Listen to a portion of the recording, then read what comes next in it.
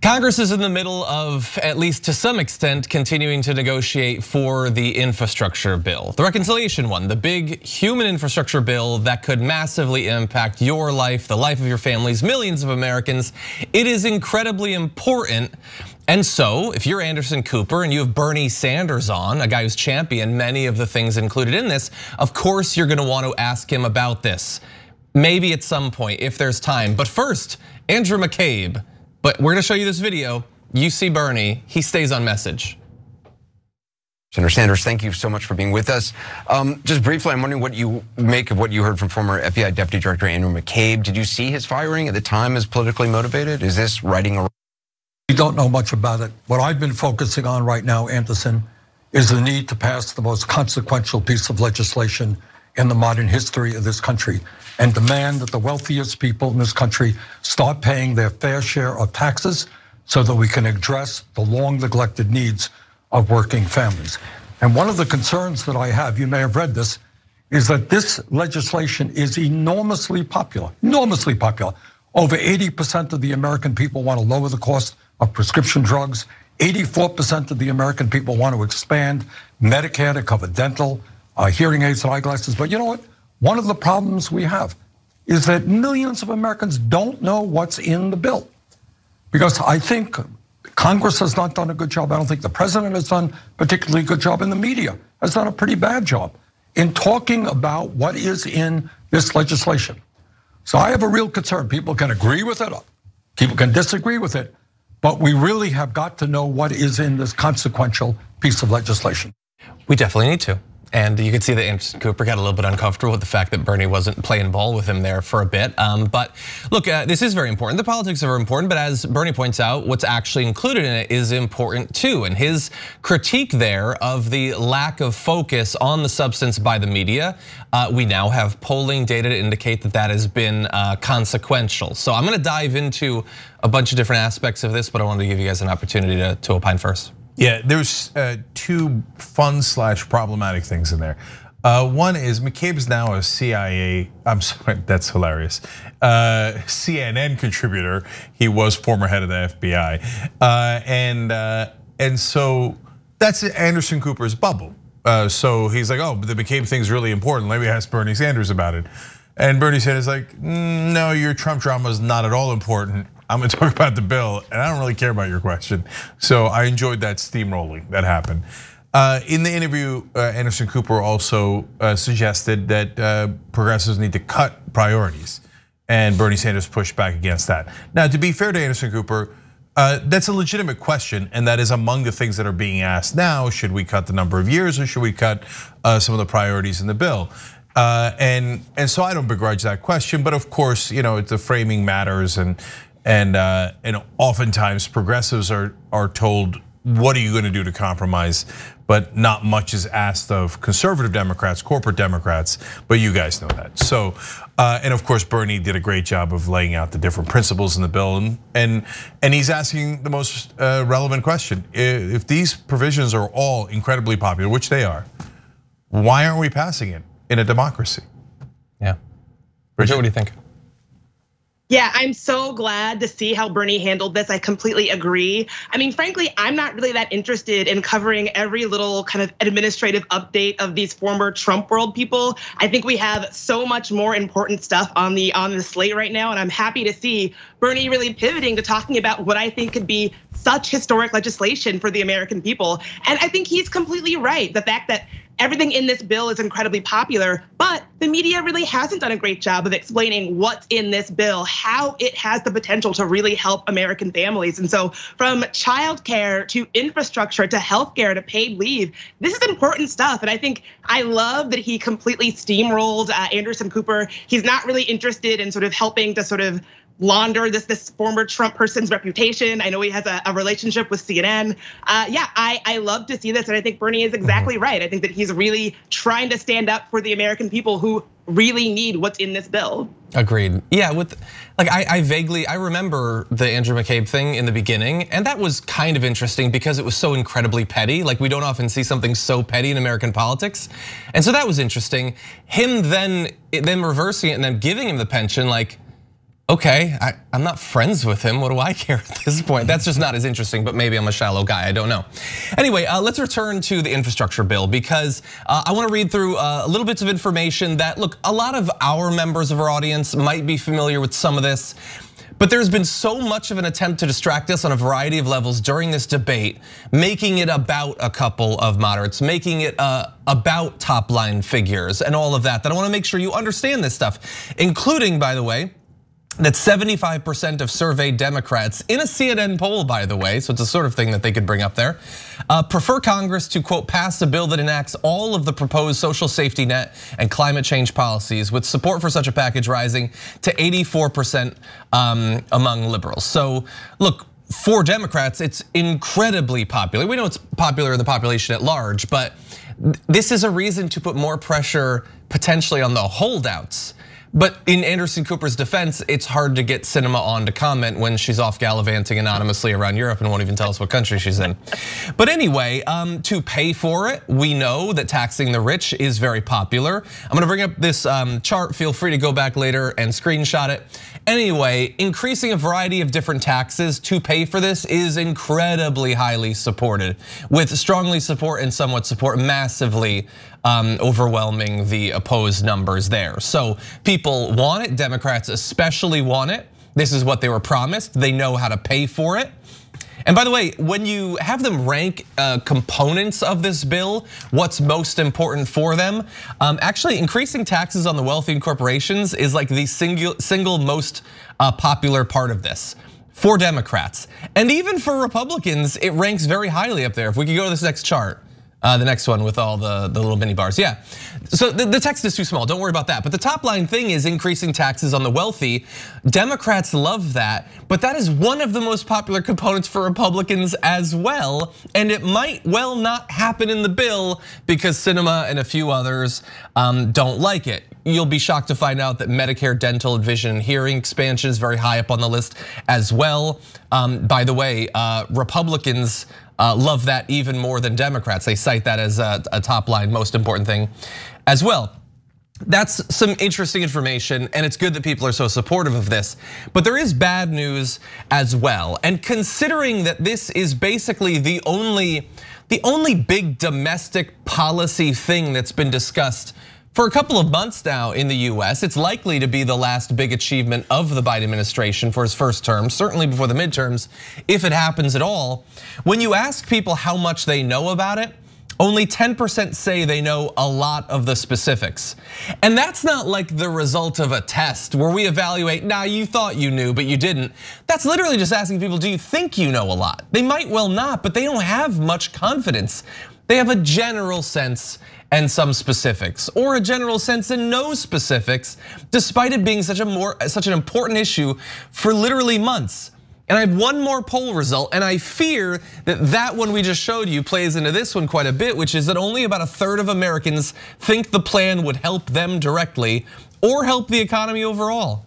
And that includes just 61% of Democrats, even though it's the Democrats' bill. It objectively would for tens of millions of Americans and certainly would help the economy, but people don't necessarily get that, even if in the abstract they support basically every provision of it. And why not? The only way that it's been presented to them is that it's too costly, it's too divisive. Why are the, the progressives pushing for this? Maybe we should cut it. Not really focusing on the parts of it that are awesome or that could help a variety of different uh, Americans. Okay. Thoughts? Yeah, so first of all, um, why don't people know what's in this uh, honestly really large bill that has super important provisions, right? And I'll get to one of the provisions in particular in a second. Um, well, there's two reasons. Normally, uh, the way that you find out about provisions in a bill is through the marketing that the two different parties do. If you just wait on the press to cover it, they, they, they won't do that. They cover fights. So if the Democrats or Republicans start a fight, then they'll cover that because they'll find that conflict to be interesting and potentially ratings worthy. So they're not gonna go into a bill and go, look, look at this, look at this, look at this. That's not what our press does at all, right? And so they, they'll do a quick summary and then they'll move on with their lives. So uh, hence, why isn't anybody talking about uh, from the Republicans or Democrats? Well, the Republicans have nothing to attack, and that is not normal. Now, normally, they'll see a proposal for a Green New Deal, and they'll find a provision where they'll say, oh, look, by the way, cows produce methane. That's a fact. They don't mm-hmm. say that they're going to do anything about it. And they will twist that to they're going to ban hamburgers. and they'll try to make the bill about, okay, this is not about helping the planet. This is not about how your kids are going to die at some point or your grandkids from, uh, by the way, or you, because we're in the middle of climate change due to severe storms, but it's about banning hamburgers, right? Now, Republicans are not doing that in this case because number one, the bill's freaking awesome. That's why we're telling you how popular the provisions are. The Republicans have already seen those polls and they're like, do not talk about paid family leave. Oh my God, that polls so well. If people find out that's in this bill, we can call it a hamburger, we can call it anything we want, but people are gonna want it. So shh okay? Now the Democrats, why don't they brag about how great the bill is? Number one, their corporate donors have not given them permission, uh, and because they're in the middle of trying to chop it to pieces, mm -hmm. right? And remember, that's still at least 80% of the Democratic Party. You think Chris Coons, a giant corporate Democrat, is gonna jump out and be like, oh, I will champion this bill about raising corporate taxes. He'd lose half his donors and be like, oh, I'm so sorry, I'm so sorry. Of course, he's not gonna champion that. Why? The most popular provision is raising taxes on corporations. How come no one is talking about it? It's the most popular provision. Wouldn't you want to brag about it? Because the Democrats are also 80% owned by those same corporations. The media are those corporations. They're literally multi-billion dollar corporations. They're not going to send out their news actors to tell you how great it is to raise their own taxes. Yeah. Like, please don't be naive. You know what uh, giant corporations are in the business of? Making money. And if their taxes are raised, they will make billions less overall in, in mass. They're not gonna, oh, oh well, out of the goodness of our heart, we should do the real news. Good one. Good one. I haven't seen it yet, right? Mm -hmm. So a, a, smaller private uh, company like us, we we actually do that. That's why you guys like us. But those giant public corporations must maximize profit, and you're not going to do that by arguing for this bill. That makes you do take uh, some paid family leave. Well, back to the mines. They don't want that, and all these other provisions. And finally, Democrats suck at marketing. So they they're always like, oh, we have a great bill. Let's send out Schumer and Pelosi to mumble about it, Ugh. right? So that that's that combination is what leaves you with a, a, bill that you would love, but that you hardly know about. And whenever we tell you any part of it, you're like, yes. And I say you, not as our progressive audience, but the entire American people. Lastly, uh, sorry, Bridget, I'm taking up so much time, but the, the paid family leave, we'll talk about it more later, but it gives you 12 weeks, okay? 12 weeks off if you're gonna have a kid. So there's other provisions in there, but, but roughly speaking. Um, when you tell Americans about that, they're like, are you serious? I don't just have to use my sick days? On average, Americans only have seven sick days, including for pregnancy, actual sickness, COVID, it doesn't matter. Yeah, we're well, healthy people though. Yeah, right, hilarious. Like when you tell other developed nations some of the laws in America, they're like, no, you must be making that up. I mean, that's so barbaric. That's So you have, you have all of your sick days, uh, uh, the things you get sick, plus a pregnancy? Are you guys insane? Right? And those are the provisions. And that's why the Republicans are like, shush, shush, shush, don't tell anybody what's in this bill. And same thing with Manchin and Sinema, because they're trying to butcher the best parts of the bill in favor so that their donors can write them more checks. That's literal. Yeah, I mean, you said it. I completely agree. I think that it's you know that poll john that you were just reading about how many democrats don't think this would make a big impact in their lives was so depressing and i think it really goes to show this really deep marketing problem that we have on the left and i think it's really interesting what we as americans have accepted as or, or, like what we think of as being too expensive and what we think of as like, oh, we need that. So we can talk about like military spending all day long and nobody talks about like, oh, it's too expensive. We're not even primed to frame it that way. But when it comes to something that will actually have a tangible impact to most Americans' lives, we automatically just accept that it's too expensive, can't afford it, it's a problem, this and that. And so I think that really is reflective of exactly what you were just talking about this idea that we have a real marketing problem. And I think sending folks out to mumble about this bill is not going to cut it. I think if people find out that this bill could really get the United States on par with, with every other developed nation in the world, I think people might start perking up and yeah. saying, hey, that actually would help me. But this idea that it's not hmm. going to make a difference to, to most folks, that makes me so sad. And I think it's indicative of what a bad job some folks on the left have done in terms of talking about this bill and marketing this bill. So I completely agree. Yeah. You know, I'm going to make one small note, John, uh, about that because there's a silver lining in there. 61% of Americans think that it is not going to benefit them personally, but 75% of Americans are in favor of it anyway. I mean, imagine yeah, what that, that is nice. That's that's awfully nice of them. Seriously, so there's a little bit of hope in the decency of the American people. Yeah. Uh, and wait till they find out it actually does help them directly. Yeah. Then, then that 75 might be 95 percent. Yeah, and I wonder, like, would would Biden do anything other than mumble? I guess if he was touring the country. Mm. You would you would want him to at least try though. I really I, I try to acknowledge that I'm I'm probably in a bubble. I don't have CNN on all day. And so I, I don't it is possible that Biden is doing a lot of stuff that I'm not seeing in terms of going out there and doing No. rallies or whatever. But I, it really does feel like I don't know why he wanted to be president. He's not doing anything really. Like he's not even he's not even trying and failing. That might at least be funny to watch. He's really just not it, like in terms of legislation, I guess he hoped that there'd be no Sinema because as soon as there's a Sinema, nope, guess we can't do anything. With all of the things he could potentially do via, you know, executive orders, executive actions, like we've got a commission. Mm, someday I hope it comes through and we got something good we can do, but I just don't see it. And, and in terms of the media failing in this, like there's a lot of good reasons that they've failed. Partial, I think a good part of it is what Cenk was saying. They like the conflict of it. It's easy to talk about and it's more dramatic. People desperately want people to pay attention to what they're making, so you make it dramatic. And telling people about the contents of a bill is not dramatic. That's why so few people really cover it. But also, Media Matters has a study out showing how little cable news has covered the fact that fossil fuel industries are trying to weaken the climate provisions of this bill. And why wouldn't they? Those fossil fuel companies advertise on CNN and MSNBC. Same for things like Medicare expansion and uh, negotiating on farm, on um, on prescription drugs and things like that. Those companies also advertise on those networks. So in the same way that we can't expect expect Manchin to kill the coal industry when that would personally hurt his finances, why would these big networks like be really in favor, like rah rah rah on a bill that's gonna harm some of their biggest advertisers.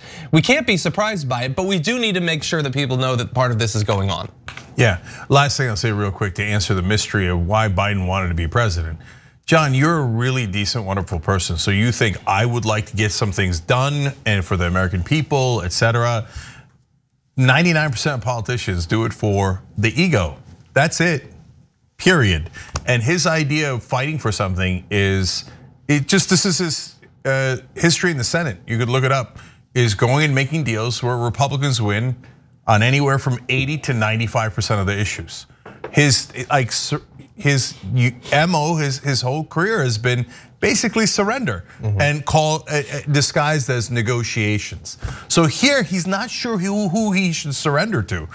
He's like, well, I'm trying to play the surrender card, but who do I give it to? And so when you give it to Sinema and Manchin, they go, oh, thank you very much. Now I'm killing your bill, the one that you named your whole campaign after, right? And he's like, wait, I didn't want that.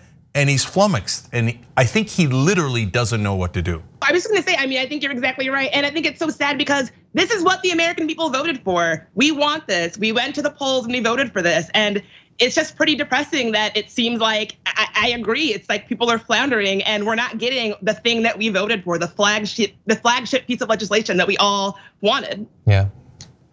Yeah, I, think that we, a lot of folks on the left, it happens on the right too, get, get, have theories about how people are evil and they act this way and that way on purpose, and there's secret geniuses manipulating things uh, behind the scenes. No, you'd be surprised. Generally, they don't know what they're doing at all, even all the way up to the president. And so, when faced with this kind of intransigence, I don't think Joe Biden, even even though he's taking corporate money his whole life, I don't think he fully comprehends the power that the donors have over fellow Democrats, and he's confused by it. And he's never thought through how, how do I defeat that, especially when I'm in the vulnerable position of also taking corporate money. How do I get beyond that problem? It literally might be beyond his capacity. And I know that people in Washington would find that deeply offensive because they're you're supposed to hero worship of the powerful, right? Mm-hmm. And in anything that isn't ass kissing of the powerful seems like outrageous to people in Washington. Like if they heard me now, they'd ban me forever. They'd be all canceled. You know, you're saying that Biden might not be smart enough? How dare you? Don't you know that he's the president and you must bow down to him? He's the leader of the Democrats. No, he look, I'm actually trying to do him a favor because if he knows what he's doing, then it's way worse. Mm -hmm right? Then he's like, oh, donors, let's play a game where we all lie to our voters at the same time. And I get Manchin to pretend and Sinema to pretend, oh, golly gee, I want to build back better. Oh, but I guess there was nothing we could do, right? and uh, so I, I genuinely think that isn't it. I don't think he's that evil. But in terms of you know brightness, that's a different issue, and that's keeping it real. Thanks for watching The Young Turks, really appreciate it. Another way to show support is through YouTube memberships. You'll get to interact with us more. There's live chat emojis, badges. You've got emojis of me, Anna, John, JR. So those are super fun. But you also get playback of our exclusive member only shows and specials right after they air. So all of that, all you gotta do is click that join button right underneath the video. Thank you.